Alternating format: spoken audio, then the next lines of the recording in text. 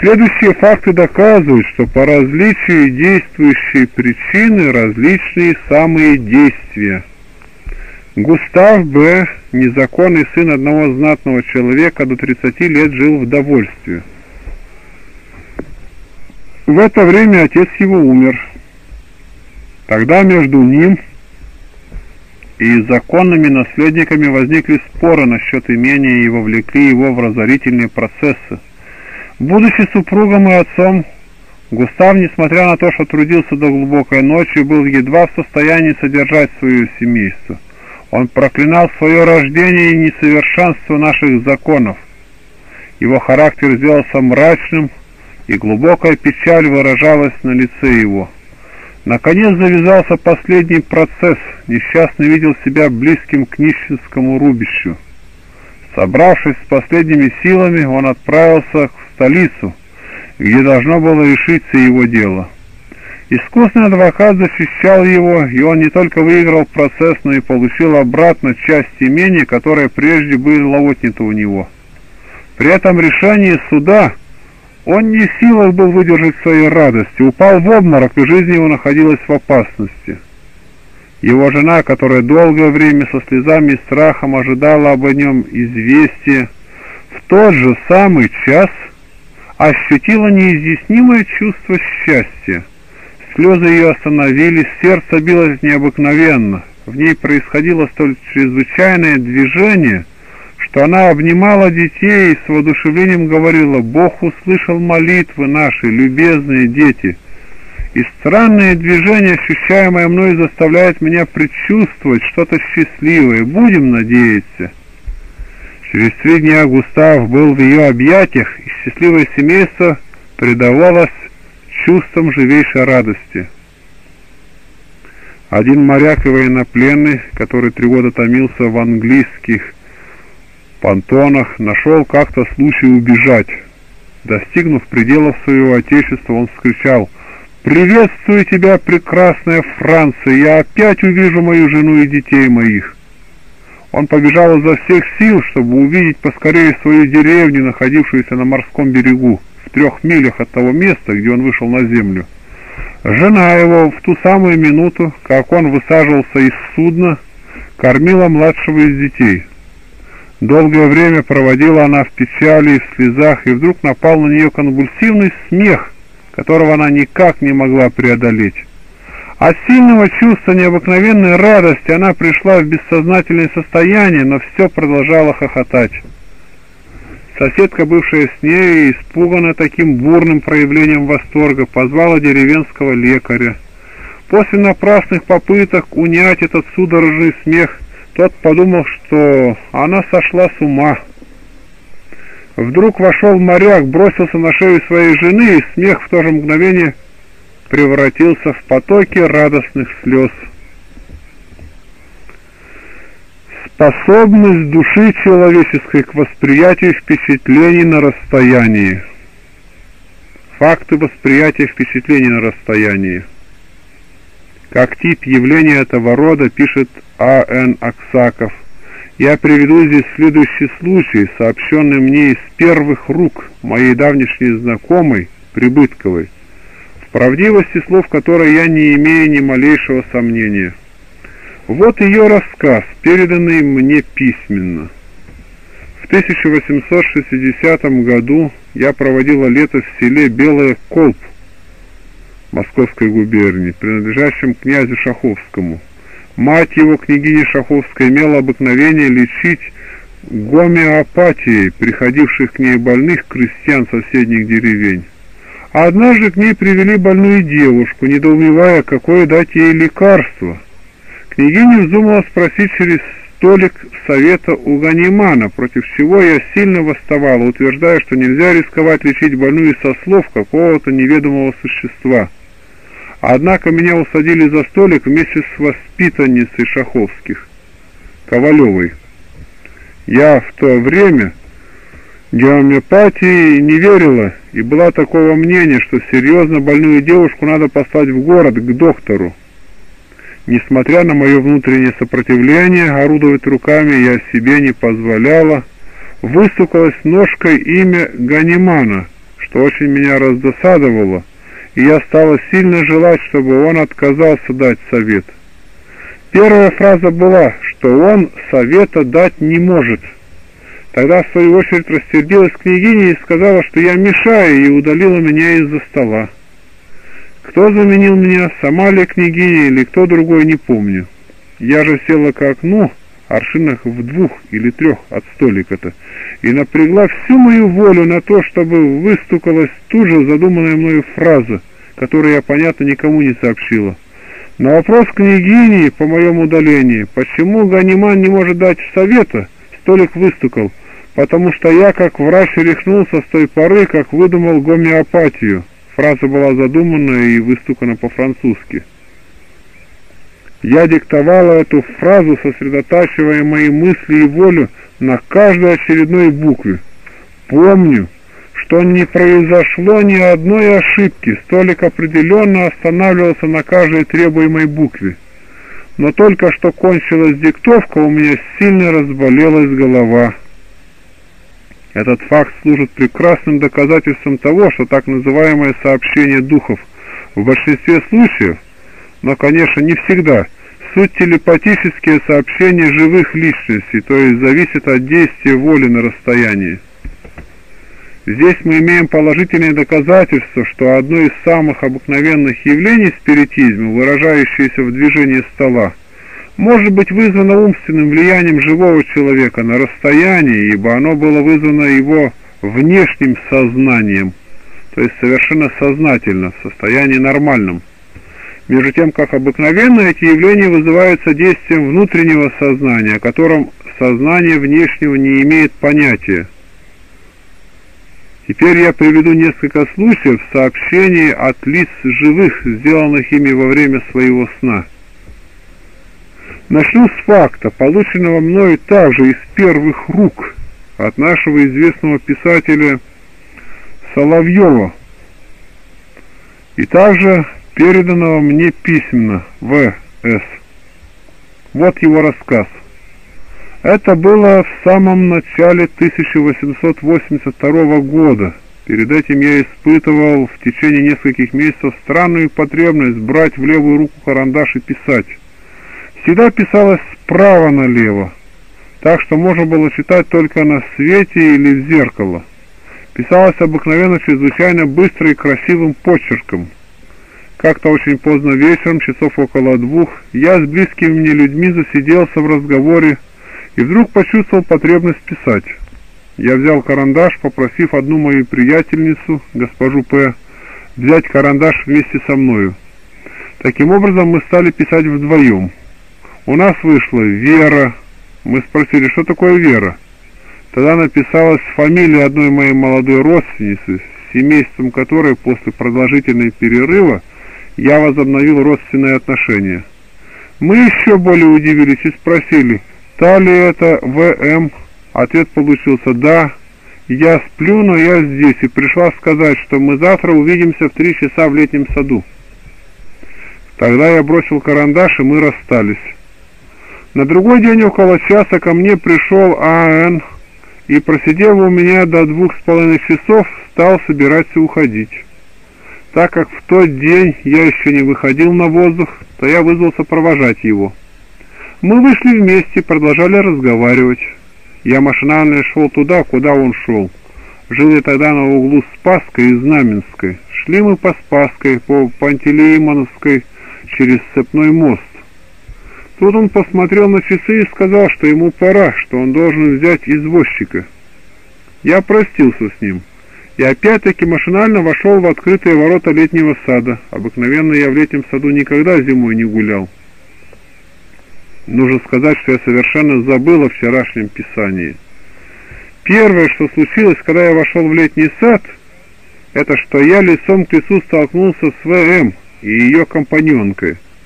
Она, увидев меня, была, видимо, очень смущена и совсем растерялась. Я тоже, ибо вспомнил вчерашнее, мы молча пожали друг другу руки и быстро разошлись.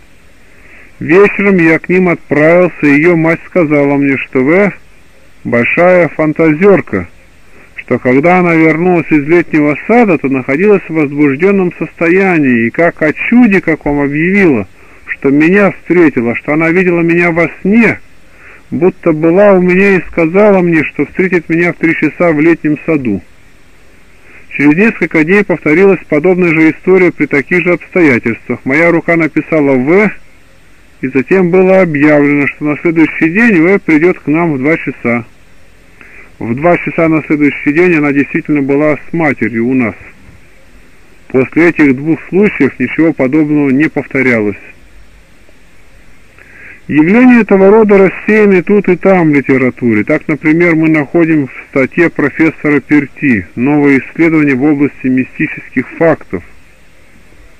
В 1858 году вечером 20 июля молодая девушка София Свобода вместе со своим семейством сидела за столом вполне спокойная и довольная, и только немного уставшая от дневных занятий, по случаю предстоявшего на другой день какого-то семейного празднества. Но вдруг она вспомнила, что не сделала перевода с французского на немецкий язык, совсем забыв про него. А ее учительница В должна прийти на урок к ней завтра, рано утром. Что делать? Приняться за работу сейчас же поздно, уже одиннадцатый час. К тому же ей сейчас трудно работать, она так устала.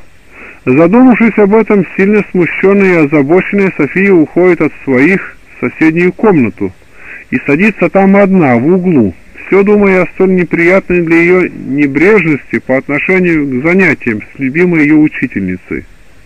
Но вот София нисколько сама тому не удивляясь, стоит перед своей учительницей, госпожой В, и говорит с нею, шутливо объясняя свою досаду, и свое горе, и причину всего этого. Затем видение исчезает так же быстро, как и появилось, а София успокоенная возвращается к своим и рассказывает им то, что случилось.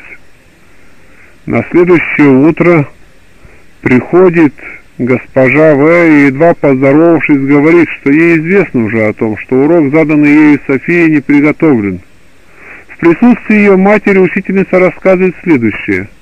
Вчера вечером часу в одиннадцатом я взяла карандаш для автоматической беседы со своим покойным мужем, который часто разговаривает со мной таким образом. Но на этот раз вместо желаемого и ожидаемого имени мой карандаш стал писать по-немецки почерком, в котором я узнала почерк Софии. Карандаш написал несколько шутливых выражений неудовольствия на себя и досаду по поводу несделанного, по забывчивости перевода. Госпожа В. показала ей бумагу, на которой написались эти выражения, и София убедилась в том, что так, что как почерк ее собственный, так и фразы, те самые, которыми она вчера со своим, в своем видении говорила с учительницей, София удостоверяет, что госпожа В. личность высокоправдивая, нисколько не способная на обман. Сочинение баронессы Адельмы фон Фай. Находим главу «Медиумические сообщения духа живого человека». Сообщения исходили от двоюродного брата баронессы графа В., находившегося в сражении при Кеникс, Греции. На другой день после сражения он сообщил ей во время своего сна, что он остался жив, что и оказалось верным, несмотря на то, что имя его появилось в списке убитых. Томас Эверрид, пользующийся среди лондонских спиритуалистов безупречной репутацией, и жена которого хороший медиум – в записи, прочитанной им перед Британской ассоциацией спиритуалистов в ноябре 1875 года, под заглавием «Доказательство двойственной природы человека», между прочим, говорит, для спиритуалистов не редкость получать сообщения от лиц, находящихся еще в живых. Подобные случаи часто происходили у нас дома, и в особенности бывало это при нашем первом знакомстве с спиритизмом. Сообщения эти стуками или письмом по своему характеру и складу речи вполне соответствовали личностям, которые себя заявляли этим путем. Так один наш приятель, сам обладавший медиумическими способностями, часто беседовал с нами через мою жену, давая нам сообщения, вполне соответствующие его личности. В письмах своих он часто справлялся, верны ли были те сообщения, которые он, в свою очередь, получал от госпожи Верит во время ее сна. Нередко бывало, что сообщения, полученные нами от него, а им от жены моей, передававшиеся стуками, письмом или медиумической речью, оказывались совершенно верными. Далее Верит рассказывает все подробности, как на одном сеансе он получил сообщение рукой жены своей от своего приятеля Мирса, также медиума, месяц спустя после его отъезда в Новую Зеландию. Следовательно, почти все подобного рода сообщения через так называемое непосредственное письмо на спиритических сеансах сводятся не к действию духов, а к простой телепатии. Дьяченко. Известная английская писательница Флоренс Мариет рассказывает о следующем факте сообщения, полученного ею от одного лица во время его сна. Несколько лет тому назад я была хорошо знакома с одним господином который еще до нашей первой встречи лишился нежно любимой сестры. Он часто говорил мне об ней, и я узнала все подробности ее жизни и смерти. Обстоятельства разлучили нас, и в продолжении 11 лет я не имела никаких сношений с моим, с моим знакомым. И вот однажды я сидела за столом для медиумического сообщения от одной известной мне личности – а вдруг выстукалось имя сестры моего приятеля. Это была ее первая попытка войти со мной в сношение. Между нами произошел следующий разговор. «Чего вы желаете от меня, Эмили?» «Я пришла, чтобы сказать вам, что мой брат находится в Англии и очень бы желал повидаться с вами. Напишите ему, адресуя в клуб города С и укажите ему, где бы он мог увидеть вас». Это было бы для меня трудно, Эмили. Уже много времени, как мы не виделись. И, может быть, он не пожелал бы возобновить знакомство? Нет, он желает, он часто думает о вас. Напишите ему. Я должна иметь сперва доказательство, что он этого действительно желает. Он сам вам скажет таким же способом. Садитесь опять в 12 часов, он будет тогда спать, и я приведу дух его сюда». Подобные выражения спиритического характера нужно понимать в ином виде, ближе к действительности, то есть относя к явлениям телепатическим. Во избежание недоразумения ссылаем читателя к предисловию, где изложен наш взгляд на спиритизм. Дьяченко. Согласно всему, в 12 часов я села опять. Эмилия явилась снова и сказала, я привела своего брата, он здесь, спрашивайте его сами. Я спросила, правду ли, говорит Эмили, утверждая, что вы желаете видеть меня. Да, принесите карандаш и бумагу. Когда я исполнила его требования, он продолжал. Напишите, что я вам буду диктовать. И мною было написано следующее. Правда, много лет прошло с тех пор, как вы, мы виделись в последний раз. Но годы, как они недолгие, не могут уничтожить воспоминания о прошедшем. Никогда я не переставал думать о вас и молиться за вас.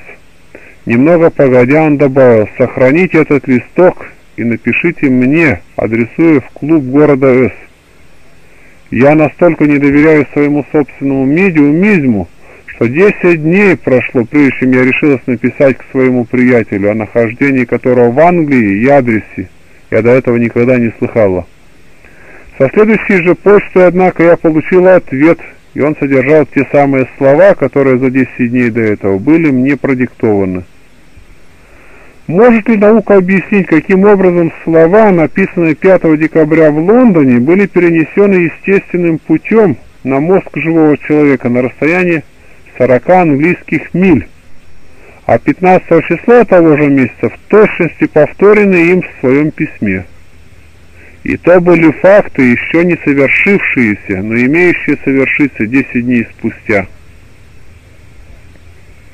Случалось, что сообщения от живых получались и через уста говорившего в трансе медиума. Положительные свидетельства о факте такого рода мы находим у судьи Эдмонса, который в своих спиритуаль странс тракт в специальной главе о медиумических сообщениях с живыми говорит «Однажды, когда я был в Роксбюре, ко мне явился через дочь мою Лауру, как медиума, дух человека, с которым я когда-то был очень хорошо знаком, но не видал его 15 лет». Это был человек с очень своеобразным характером, столь резко отличавшимся своей оригинальностью от всех, кого я когда-либо знал, что ошибиться в его личности не было возможности. Я вовсе о нем не думал тогда, а медиумом вовсе не знал его. Он проявился не только со всеми особенностями свойственного моему характеру, но и говорил о предметах, известных только мне и ему. Я так и порешил что он умер, а впоследствии был немало удивлен, узнав, что он еще жив. Я не могу теперь входить во все подробности нашей беседы, длившейся более часа. Я был уверен, что я не обманывался, и что это было точно такое же спиритическое явление, как и многие другие, которых я бывал свидетелем или о которых слыхал от других. Но как же могло это происходить? Вот вопрос, долго занимавший меня. Впоследствии я был свидетелем многих подобных явлений. Из русских случаев сообщений, полученных медиумически от людей живых во время их сна, можно привести следующий, напечатанный в Ребусе, 1884 год, страница 57. На одном из сеансов говоривший с нами назвался сыном нашей соседки, помещицы, живущей от нас в восьми верстах, Молодой человек этот, от имени которого велся разговор, состоит на службе в одной из южных губерний. Утром в день сеанса один из нас видел его мать, и о приезде его не было и речи. А между тем, беседуя с нами, он заявил, что два часа тому назад приехал в имение.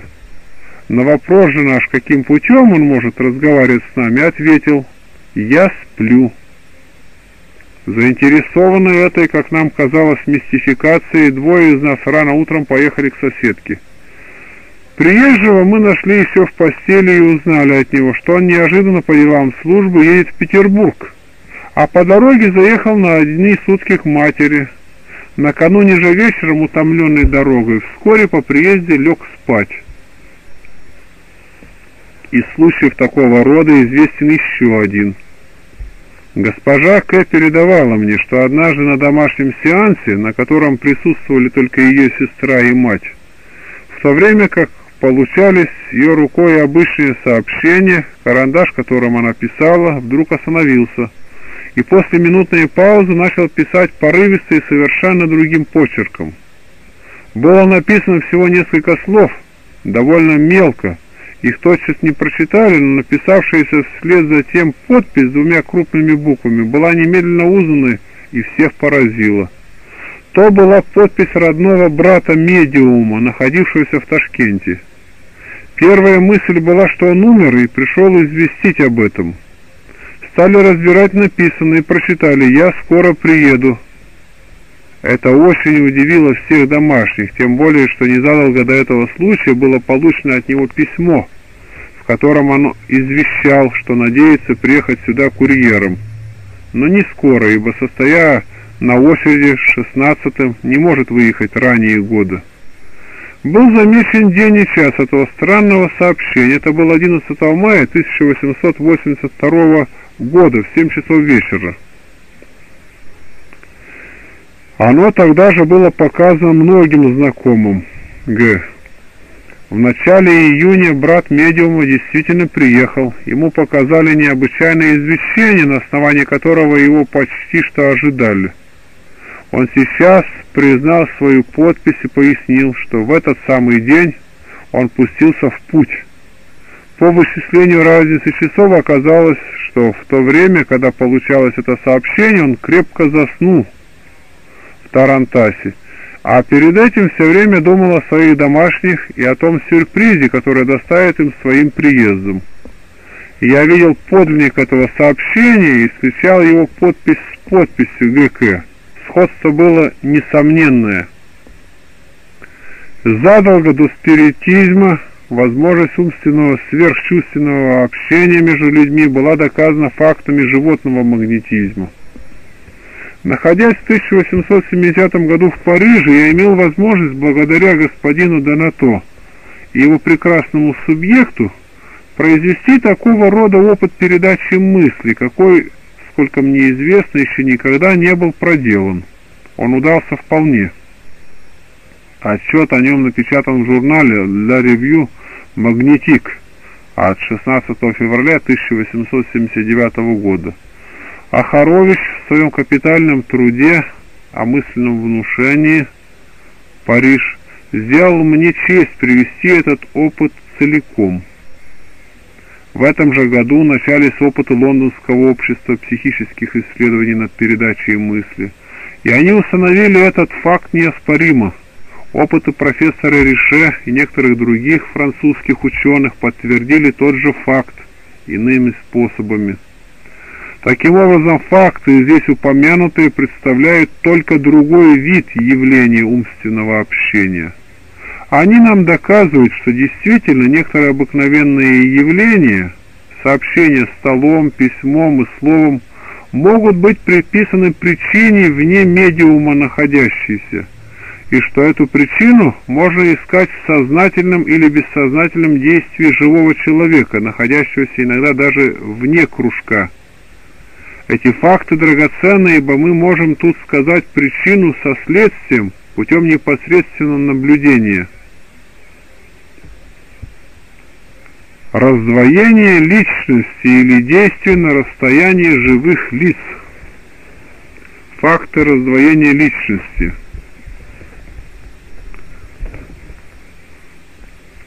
журнал «Психише Студиен» поставил себе главной задачей исследования мало знакомых явлений душевной жизни.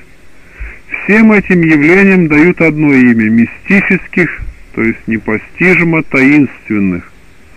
У всех явлений этого рода одно общее начало – магические силы духа.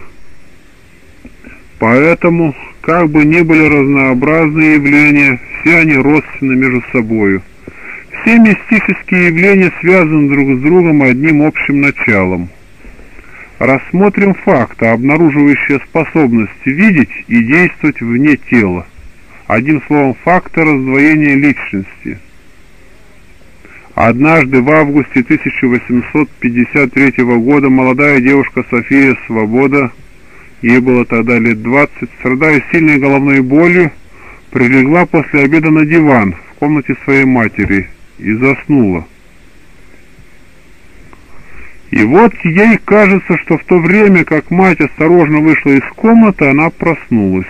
Проснувшись, София чувствует себя совсем хорошо, ни тяжести в голове, ни боли нет. Она быстро встает, желая поскорее догнать мать и сказать ей о такой благоприятной перемене в своем здоровье. София находит мать уже в третьей комнате, сидящей за вязанием против отца, который читает ей книгу «Мистические ночи Бонавентуры». София стала возле родителей, выжидая приостановки в чтении, чтобы заговорить с ними – но родители как бы не замечали ее присутствия, хотя оба часто поднимали головы и глаза, прерывая чтение разговором друг с другом о прочитанном. Очень удивленная их невниманием к ней, София отошла в сторону и стала в оконной нише, слушая их чтение. Но скоро мать поднялась с места, говоря, «Беспокоит меня нездоровье Софии, пойду взглянуть на нее». Тогда София быстро вышла из ниши и подошла к матери, думая сейчас же успокоить ее но мать на нее и не взглянула, продолжая торопливо идти к той комнате, где она оставила Софию, и дверь которой была затворена. Чтобы мать наконец ее заметила, София задумала опередить ее и, став у этой двери лицом к ней, встретить ее там поцелуем. Но и тут тревога матери нисколько не рассеялась тем же беспокойством вошла она быстро в комнату в ту минуту, когда туда же входила из другой двери сестра Софии Тереза. София слышит грустный голос и тоскливое восклицание матери, как она бледна, и обращает свой взгляд в ту сторону, куда направлены глаза матери. В крайнем изумлении она видит, там на диване саму себя лежащую с закрытыми глазами и с лицом мертвенно-бледным. Видит София и то, как мать и сестра в сильнейшей тревоге наклонились над ней и зовут ее по имени. Необходимо, однако, чтобы они наконец увидали ее. И вот она подходит к ним и к дивану совсем близко, так что касается его, но в то же мгновение ощущает как бы толчок, которым ее точно бросило на диван. Она открывает глаза, тяжело и с трудом поднимая веки, и при помощи матери и сестры поднимается со своего ложа. Несколько времени как бы отдыхает, приходя в себя и собираясь с мыслями. Вполне оправившись, София рассказывает своим родителям обо всем только что ею испытанном. Родители вне себя от изумления, когда слышат, как дочь повторяет им не только то, что они считали, но и что при этом высказывали друг другу, повторяет иное из их разговора буквально теми же самыми словами, а между тем для матери, вне всякого сомнения и то, что дочь все это время спала на диване, в ее комнате затворенной дверью, притом отдаленной от той, где она с отцом читали, двумя другими комнатами. О возможности отнести все это явление к области сновидений – не может быть и речи. Но я именно думаю, что во время своего глубокого сна дочь духом вполне реально была со своими родителями, для которых дух дочери оставался, конечно, невидим. Но в 1856 году, 6 ноября, с той же личностью произошло явление обратное. Брат Софии Даниил видел ее в Бирюбау, то время, когда она, заболев в Вене, лежала там у себя в постели и, казалось, заснула глубоким сном. В 1858 году, 9 апреля, за три дня до смерти горячо любимой ею матери, врач объявил Софии, что ее дорогая больная безнадежна и проживет не более нескольких дней. София села у постели уснувшей больной, и в своем горе думала о своем брате Данииле. Этот брат находился тогда на, на месте своего служения на станции Летовицы в Моравии. Думая о Данииле, София живо представила его себе мысленно и невольно сказала полушепотом, как бы обращаясь к брату, «О, Даниил, наша милая дорогая мать умирает, Через несколько дней Даниил известил ее, что в тот самый день и час ему пришлось идти по железнодорожному полотну в Брюссау. И он вдруг услыхал голос Софии, который шепотом, но весьма явственно, выражая глубокое горе, произнес эти самые слова. В последних числах июля того же года София приехала к Даниилу погостить и провела у него на станции Трибицы, в Моравии недели две. Она получила приглашение от семейства начальника станции Литовицы в Моравии же, приехать к ним и погостить у них хоть несколько дней. Уезжая от Даниила 8 августа, София решила остаться в Литовице до 13 или 14, а потом уже ехать домой, в Вену. Уговорившись таким образом, брат и сестра расстались. Но когда София уже уехала в Литовице, Ей так неудержимо захотелось быть скорее у своих в Вене, что она передумала и решила выехать из Литовиц в Вену на следующее же утро. Это решение Софии не изменилось и в Литовицах, где, обрадовавшись ей, всячески старались удержать ее до доли. Как неравнодушен был прием, нерадушен ей оказанный, как непривлекательно было общество ее приятельниц, молодых девушек, дочерей хозяина. Желание скорейшего свидания с родными оказалось сильнее. И утром следующего дня, то есть 9 августа, София выехала из Литовицы в Вену. Таким образом, уговор ее с братом Даниилом ею нарушен, и она оказалась едущей в Вену гораздо раньше того срока, о котором он знал. В седьмом часу вечера поезд, с которым ехала София, миновал станцию Флорицдорф. подходил к мосту через Дунай и вдруг неожиданно для всех на самом мосту остановился. Раздались восклицания испуганных пассажиров, знавших кондукторов, звавших для объяснения остановки. Кондукторы с бледными лицами сообщали, что локомотив вследствие какой-то порчи в колесах сошел с рельсов, так что необходимо телеграфировать в Вену о высылке на место происшествия другого локомотива. Все начали выходить из вагонов, вышла и София и направилась вперед по мосту. Подойдя к локомотиву, она остановилась, как вкопанная от охватившего ее ужаса. Она увидела, что сошедший с рельсов локомотив стоял на мосту у самого края, не имевшего на этом месте даже и перил. До края оставалось расстояние не более фута. Так что опоздая машинист, хотя на секунду заметить опасность, он не смог бы уже вовремя остановить движение поезда, и локомотив неминуемо увлек бы за собой поезд в волны Дуная. Все подошедшие сюда пассажиры стояли глубоко потрясенные зрелищем. А у Софии сейчас же мысли обратились к брату Даниилу, который, конечно, в эту минуту не беспокоится о ней. Он считает ее в летовицах, стало быть, не может иметь ни малейшего предчувствия об ее какой-либо опасности. И вот в то время, когда она вся была погружена в мысль о брате, а ее глаза смотрели на пенящиеся волны Дуная, с ней вдруг происходит следующее. Она у брата на платформе на его станции Трибицы и видит Даниила, тревожно шагающего из конца в конец по платформе. Она чувствует, что его беспокойная ходьба происходит от глубокого волнения, что заботит его она, волнует предчувствие какой-то опасности с нею, так что он не может совладеть со своим беспокойством. Голоса кондукторов, извещавших, что локомотив прибыл из Вены, приглашавших садиться, привели ее в себя.